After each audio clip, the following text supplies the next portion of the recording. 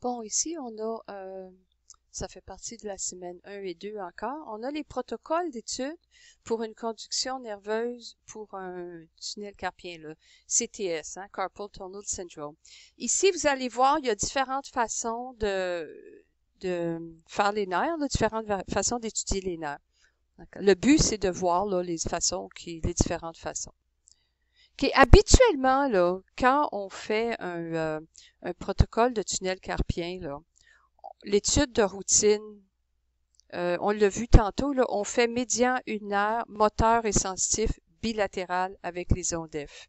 Quand c'est un problème avec l'ulnaire au coude, c'est la même affaire, sauf qu'on va faire un ulnaire avec plusieurs segments.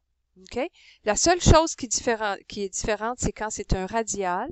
Le radial, on va faire le radial moteur, le radial sensitif. Et puis, parfois, on va ajouter avec ça le médian. Ça dépend de l'hôpital, euh, de leur protocole. Okay? Bon, on continue ici, là. Alors, protocole d'étude de conduction nerveuse en cas de CTS. L'étude de routine, comme on a déjà dit, on commence toujours par le côté atteint, puis on commence avec le côté opposé. S'assurer de conserver les mêmes paramètres d'enregistrement. Le protocole. Donc, on fait une étude de conduction du nerf médian avec G1 sur l'APB. Bilatéral, médian moteur, G1 sur l'APB. Une étude de conduction motrice du nerf ulnaire avec G1 sur l'ADM. Ensuite, on fait une étude de conduction sensitive antidromique du nerf médian au deuxième et troisième doigt. Ça, c'est un autre type de protocole. Hein. On peut faire aussi une étude de conduction sensible de l'ulnaire au cinquième doigt. Parfois, on va faire une étude de conduction sensible du radial. On va faire le radial si on suspecte que le, patient a, par exemple, un diabète, OK? Qu'il y a autre chose. Mais de façon générale, là, vous avez moteur médian avec G1 sur APB, ulnaire moteur G1 sur l'ADM, puis conduction sensitive, on peut faire soit la palmaire ou soit les antidromiques, comme ici c'est un antidromique. Fait qu'on va comparer le médian, deuxième, troisième doigt, on va faire la vitesse de conduction, et puis euh, on va faire une conduction sensitive aussi antidromique de l'ulnaire au cinquième doigt en mesurant la vitesse de conduction. Donc, euh, protocole d'étude de conduction nerveuse encore. Les études de comparaison en cas de doute diagnostique. Les études comparatives sensitives de l'ulnaire et du médian au quatrième doigt, comme on a vu dans l'autre PowerPoint. On peut faire aussi les études du palmaire, de l'ulnaire et du médian. Ça, c'est avec le 8 cm de différence, puis le 13 et le 12 cm. Hein? On stimule dans la paume sur le doigt puis on, enregistre euh, au niveau du poignet. Donc, on a ici notre étude orthodromique. Après ça, comparaison des latences distales motrices du deuxième interosseux de, du nerf ulnaire. On va les voir un petit peu plus loin là, dans les diapos. D'accord? Mais ce qui est important, là, c'est les comparaisons sensitives de l'ulnaire et du médian, quatrième doigt, puis les études palmaires, OK, euh, comparative. Donc, ici, qu'est-ce qu'on a? On a ici les études, comparaison d'études palmaires. Alors, vous voyez, vous avez votre G1, G2 médian, G1, G2 une heure. OK, le protocole est là, là. Donc, ici, on a fait S1 pour le médian. Et puis, notre latence pic, 3.2. Ils ont fait la vitesse de conduction, là, ils ont mesuré, là, puis ça leur donnait un 32 mètres par seconde. Et puis, vous avez ici votre S2 pour l'ulnaire avec une latence de 2.1 millisecondes. Vitesse de conduction 50. Alors, c'est très clair ici que le médian est affecté. D'accord? Continue. Vous avez ici une étude comparative du quatrième doigt. Alors, Qu'est-ce qu'ils ont fait? Ils mettent un électrode ici, G1, G2, prennent les anneaux. Ça, c'est une étude en ce moment-là. Ici, ça va être une étude euh, antidromique, hein, parce qu'ils stimulent ici. Donc, ils stimulent dans cette direction-là. contraire à l'influx nerveux naturel du, euh, du sensible. Donc, pour mesurer la vitesse de conduction, ils vont, se servir de la latence, euh, euh, de la latence peak ici, là. OK? Euh, pas la latence peak, excusez, la latence onset. Alors, qu'est-ce qu'on a ici? Euh, bon, on stimule le médian, stimule médian, record digit 4. On a une latence peak de 4.4. Ils ont mesuré la latence pour, pour la vitesse de conduction. La vitesse de conduction, c'est de 33 mètres par seconde. En partant, c'est trop lent. C'est en dessous de 5 heures. Ils ont fait la stimulation numéro 2 sur lunaire, encore le quatrième doigt. Hein? Il faut se souvenir là qu'au niveau du quatrième doigt, euh, il y a le nerf, on a une branche du nerf ulnaire qui passe là, puis une branche du nerf médian. Alors, la branche de l'ulnaire nous donne une euh, conduction nerveuse de 50 mètres par seconde, ce qui est normal. Okay? Qu'on voit nos branches ici, là, hein, quand on stimule S1, on a notre branche du médian qui nous donne cette réponse-là. Et puis ici, on a notre branche de lunaire qui nous donne cette réponse-là. OK? Celle-là, c'est facile à faire, ça va bien. Euh, ça va très, très bien. Puis on, a tout de suite euh, une idée là, de quel nerf est affecté. Hmm? On continue ici. Je vais enlever le crayon, là. OK. Bon, voilà. Celui-là ici, c'est une autre technique. Euh, moi, je ne l'ai jamais fait. Euh, je pense qu'ils font cette technique-là au civique. Donc, euh, ici, il stimule le médian. Euh, On stimule le médian ici au poignet. Il stimule l'ulnaire. Et puis, ils enregistrent au, euh, dans le premier, euh, le premier, l'umbilical interosseae, le premier lombrical, lombrical ici. Donc, euh, attendez un petit peu, là, on va regarder ça comme il faut. Celui-là, il est quand même assez, euh, assez intéressant. Ce que ça dit, c'est que on place G1 ici, puis dans, dans la paume, là, sur euh, G1, active électrone, OK, puis on place G2 ici sur le doigt. Quand on stimule le médian à S1 sur le nerf médian, euh, le nerf médian va venir euh, innerver ici le premier interosseux palmaire. OK? Quand on stimule le nerf ulnaire à la même endroit ici, ça va venir euh, ça va venir euh, innerver ici. Attendez un peu, je me suis trompée là. OK, c'est ça. Quand on stimule le médian, c'est le deuxième lombrico-médian. Puis quand on stimule point ulnaire avec G1 ici, la réponse de l'ulnaire, donc mon ulnaire, là, je vais vous dessiner ça, là. Il y a une branche de l'ulnaire qui s'en vient de même, là. Puis vous avez votre branche du médian qui s'en va comme ça, là. OK? Donc, c'est euh, quand on, on, stimule ici notre ulnaire, ben, G1 se trouve à être placé sur le muscle, le, là, ici, là, le muscle, le first palmar interosseeux. Donc, le premier interosseux palmaire. Puis, le médian, c'est le deuxième lombricaux. Okay? C'est un peu spécial. Moi, je l'ai jamais fait, là.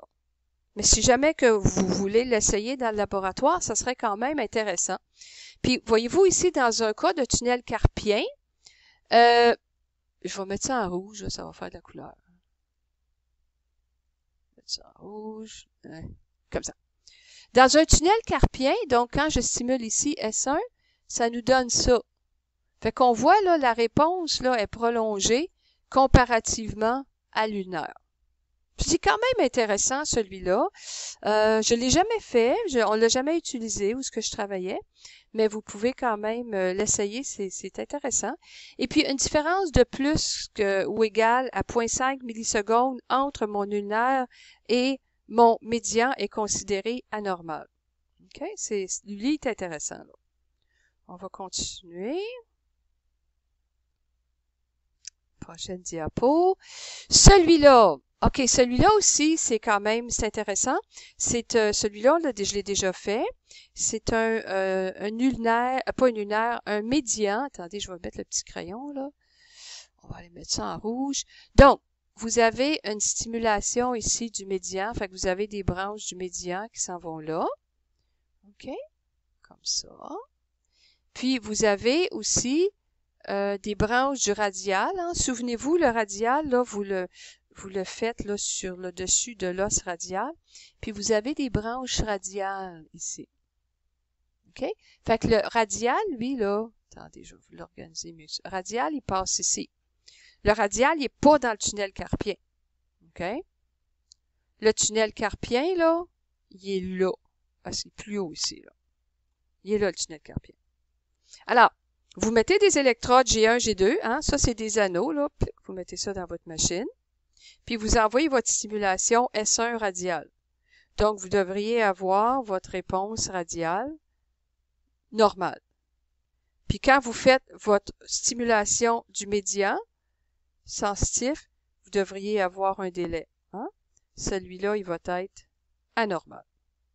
Fait que c'est une autre façon de vérifier. La branche médian va être plus lente que la branche euh, radiale.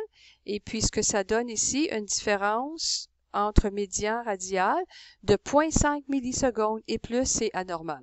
Celui-là, il est hyper facile à faire. On continue.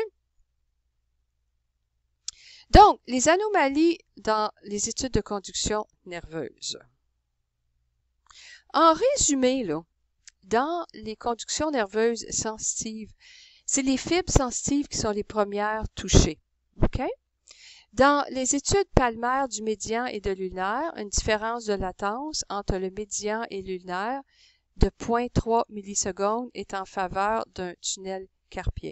Ça, vous souvenez-vous, là, dans l'étude comparative euh, euh, palmaire, là, c'est quand vous avez votre main, là. OK, je vais essayer de faire une main rapide, là. Puis vous mesurez ici, vous avez médian, ulnaire, OK? Puis vous faites une stimulation ici, une stimulation ici. OK? Puis on a là un 8 cm. Oups, là, mon, mon chose commence à mal écrire là. Vous avez 8 cm de différence. OK? On a 8 cm ici, 8 cm ici. Là. OK? Ça, c'est là que la différence de 0.3 devient euh, qu'on va s'en servir. Dans les, ça, c'est orthodromique. Hein? Dans les différents, dans les études antidromiques, il manque un S, avec enregistrement au quatrième doigt. Ce qu'on a vu tantôt, là, avec notre enregistrement au quatrième doigt. OK, donc, on avait, on peut reculer, là, mais, attendez, je vais vous le faire ici, là. Euh, Souvenez-vous qu'on faisait le quatrième doigt?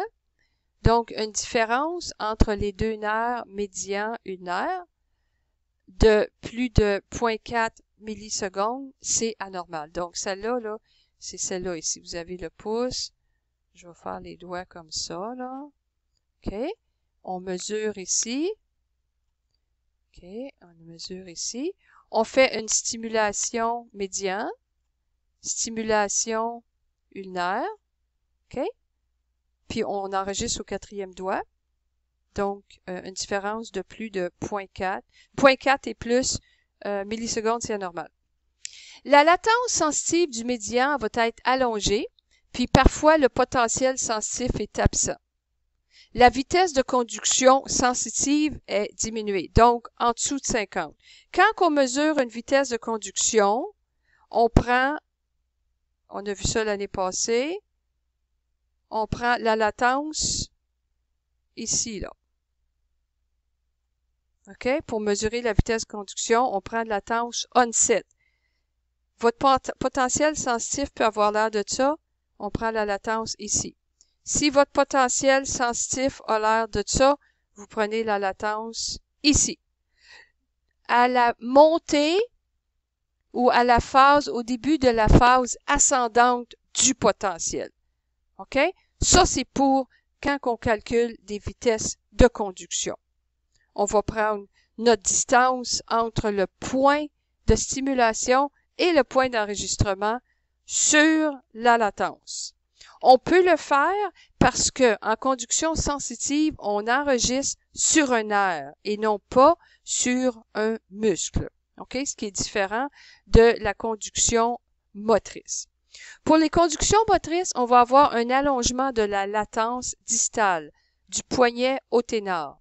Puis on peut aussi avoir des fois un bloc euh, moteur à la conduction. OK? Ben, il va souvent avoir un bloc parce que le, nerf est coincé. Donc, on a ici, ça c'est tout pris dans Fournier. Vous avez ici euh, en haut le bras droit. Qu'est-ce qu'on a comme valeur? OK. Allongement des latences distales, de la latence distale du nerf médian, syndrome du tunnel carpien bilatéral. Donc, sur les deux côtés, stimulation d'un nerf médian au poignet et au coude avec recueil du cours euh, APB. À droite, la latence distale est de 6.3. OK? Ici, là. J'ai ma latence qui est à 6.3. C'est plus que 4.2, c'est anormal. Ensuite, j'ai ici euh, puis la vitesse de conduction entre le coude et le poignet. Donc, on fait la latence de lui moins ça. Ça va me donner le temps. Puis on mesure la distance. Hein. Donc, on a la distance entre mes deux points de stimulation sur... Oups, ça marche plus mon affaire là. Sur ma latence S2 moins S1. OK? Donc, ma vitesse de conduction est 49, c'est en dessous de 50, c'est anormal. Du côté gauche, ma latence distale ici est à 6, donc c'est plus grand que 4.2, c'est anormal. Et puis, la vitesse de conduction entre ici et là, donc entre mon coup de poignet, c'est 48 mètres par seconde, ce qui est anormal. Dans les études comparatives de la conduction sensitive du nerf médian, on a ici à droite et à gauche. Donc, mon nerf médian droite sensitif qui est pris, comparaison au côté opposé, euh, au nerf cubitaux. Donc, on a pris ici le nerf médian, OK, euh, qui, diminution de la vitesse de conduction. Donc, ils ont fait une vitesse de conduction ici du nerf médian à droite. OK, donc, ils, vont, ils ont pris la latence sur la distance. Ça me donne une vitesse de conduction de 60, euh, 34 mètres par seconde, ce qui est trop lent. Puis mon potentiel sensitif, il est juste à 6 euh, microvolts, ce qui est trop petit. Du côté opposé, euh, mon médian gauche, la vitesse de conduction est de 45 mètres par seconde avec une amplitude de 29.4. Alors, on voit tout de suite que le côté droit est plus affecté avec une vitesse de conduction de 34 mètres par seconde comparativement à 45. Puis mon amplitude ici, là, est à combien? À 6 microvolts comparativement à 26 ce côté-là. Alors, on voit tout de suite qu'il y a une grosse différence. Et puis le nerf cubital, euh, à droite, ma vitesse de conduction est de 50 mètres par seconde et à gauche, 58 mètres par seconde, ce qui est normal. Donc, ça confirme un tunnel carpien, OK, plus sévère à droite qu'à gauche. Surtout pour le sensitif, il est plus sévère. OK. Donc, on a ça. On va passer à la prochaine diapo. Alors, ici, on a une autre façon de faire des conductions nerveuses pour le médian. Donc, ici, on a euh, une conduction motrice du nerf médian euh, en stimulant le nerf sur le poignet et à la paume. Ça, c'est une autre technique, je crois, qu'ils la font euh, qu'ils la font de façon routinière au civique, mais c'est pas tous les hôpitaux qui s'en servent, mais c'est quand même intéressant de la voir. Alors, le nerf médian est stimulé au poignet et à la paume et on enregistre sur l'abducteur pollicis brevis. Alors, on voit ici clairement, euh, je vais mettre mon crayon un petit peu plus gros là. Donc, on a G1 et G2. Donc, c'est facile à voir que euh, c'est une étude euh, sensitive, hein, parce que euh, pas sensitive motrice, parce qu'on met G1 sur le muscle. D'accord? Donc, la première stimulation ici, au poignet, on stimule au poignet, on enregistre donc le courant passe ici, il s'en va dans le muscle. La réponse est ici. On voit l'amplitude qui est basse là. Hein, on n'a pas, pas une grosse, euh, une grosse amplitude ici. La deuxième stimulation se fait dans la pompe sur le nerf médian et c'est recueilli par G1 on voit tout de suite, de toute façon, la latence est plus, euh, plus rapide, c'est normal parce qu'on est plus proche, la distance est moins grande. Mais ici, ce qu'on regarde, c'est l'amplitude. Hein. Donc, l'amplitude du signal est plus élevée par rapport à une stimulation au poignet. Donc, parce qu'ici, le nerf est coincé, les axones sont coincés. Donc, euh, on a une... Euh, ça fait une, une bloc de conduction. OK? les axones sont coincés, mais ici, ils ne sont pas coincés. C'est une autre façon de, vérifier. Hmm? On va continuer. L'autre diapo. Donc, ça, c'est dans Fournier ici. Donc, il nous montre le même, euh, principe avec d'autres euh, types d'études. Hein. Donc, on stimule ici dans la paume et puis au poignet. Alors, ralentissement et bloc de conduction moteur du nerf médian dans le tunnel carpien. OK? Le canal carpien, là, je, probablement, je ne sais pas si vous vous souvenez de votre anatomie, là. Le tunnel carpien, le canal, il est ici. Euh, mon crayon, je vais mettre mon crayon, là. OK, il embarque. Mon, mon tunnel carpien, il est là. OK. Fait que si je stimule ici, j'ai pas de blocage. Si je stimule ici, oh, j'ai un blocage ici. D'accord? Donc, vous pouvez analyser ce tracé-là. Fournier, c'est très, très bien expliqué. Et puis, vous avez euh, toutes les photocopies euh, de ces avec qui contiennent ces documents-là dans euh, dans ECT, là, si vous allez voir sous la rubrique EMG de Fournier, je vous ai toutes mis cela, je pense qu'il y en a 7 ou 8. Donc, vous avez amplement de matériel pour euh, vous aider à étudier. Syndrome du tunnel carpien au stade avancé. Donc, on va avoir réduction des amplitudes motrices au niveau de l'APB, même abolition de la réponse en cas de dégénérescence axonale. Les axones font l'amplitude. Quand il n'y a plus d'axones, il n'y a plus d'amplitude, puis ce qui va arriver, le muscle, hein, le muscle, là, il va s'atrophier. Dans une absence, quand on a absence de réponse au niveau de l'APB, on enregistre la réponse au niveau du premier et du deuxième muscle lombricaux. Ça, c'est une autre méthode pour le faire. On l'a vu là tantôt rapidement. Là. On va quand même passer à travers. Pour ce qui est de l'EMG, ça, c'est avec l'électrode intramusculaire. Ça, je vais vous faire quelques cours spéciaux si on a le temps, parce que faut, faut entendre puis regarder des potentiels. Ça, c'est vraiment live. Là. Fait que j'ai des DVD là-dessus, là, puis on pourrait voir ça plus tard. Donc, euh, OK, donc syndrome du tunnel carpien dans une forme perte axonale motrice. Alors, on voit ici, on a des amplitudes basses. ça, c'est les MG, là, c'est les signaux quand on met l'électrode intramusculaire, là. Ça rentre, là, puis ça fait tic, tic, tic, on l'entend, là. Euh, on va voir ça plus tard. D'accord? Les signes négatifs du tunnel carpien. OK?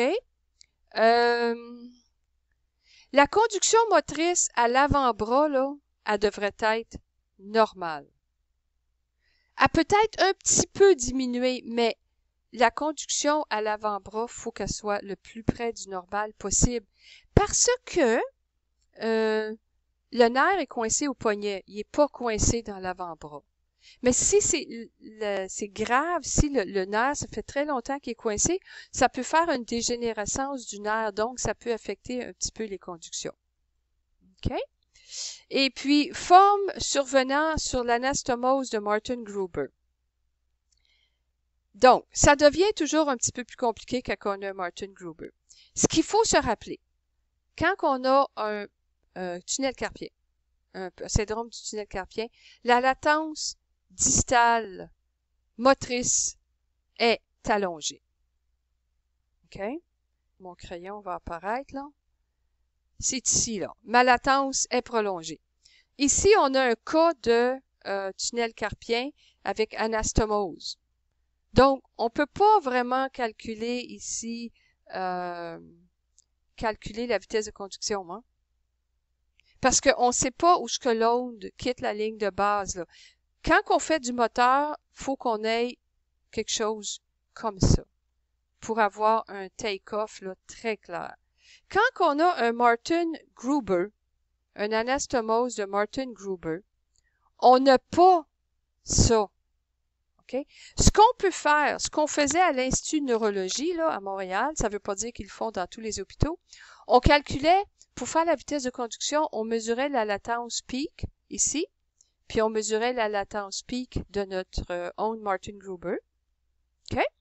Puis on faisait la, la, la distance là, entre S1, S2, puis on faisait la différence de ces deux latences-là. Ça nous donnait quand même des réponses euh, qui étaient bonnes, puis c'était une autre façon de mesurer la vitesse de conduction, parce qu'on ne peut pas utiliser le take-off ici. Là. On va enlever le crayon. Continue. Voilà. Et puis, bon, ben, c'était notre dernière diapo. Alors, euh, je vais publier ça, puis on va se revoir un petit peu plus tard.